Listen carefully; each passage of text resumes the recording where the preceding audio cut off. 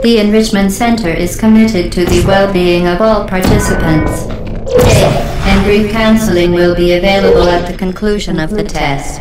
Thank you for helping us help you help us all.